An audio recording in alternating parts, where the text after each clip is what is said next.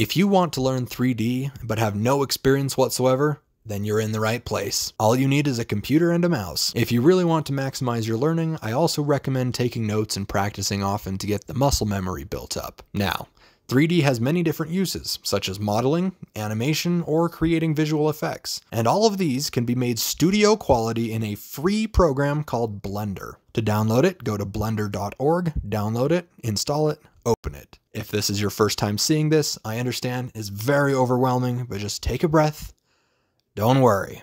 I will explain everything you need to understand in the next minute. First off, these options here let you decide what kind of project you're working on. Choose General, as that's 3D work, and now a brief breakdown of what you're looking at. Up in the top left corner is where you can save, import, or export whatever you make, or turn your project into an image or video by rendering it. Right next to that are these tabs that let you work more efficiently on a specific part of a project, such as adding color or animation.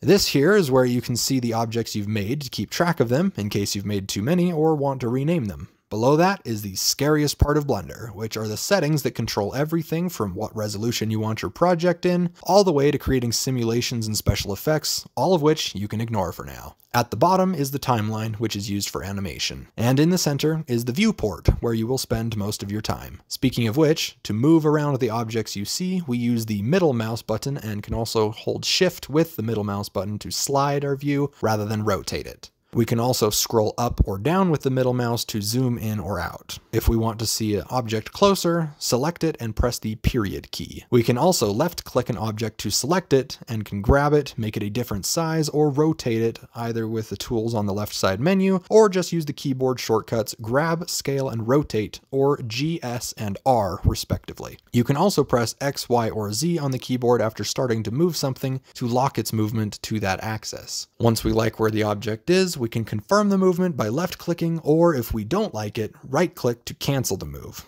If you want to undo something, use Ctrl Z. If we want a new object, we can click Add at the top or use the shortcut Shift A, then pick from the mesh options. I recommend creating each of the mesh options at least once so you're familiar with what they look like. This is very useful as modeling requires you to start with the basic building blocks of any object. For instance, a monitor would start as a few stretched cubes, or a Pokeball would be a sphere with a cylinder in it. Congratulations! You now have all the tools you need to move around and create objects. Questions in the comments, and on the way, subscribe for more. Deuces.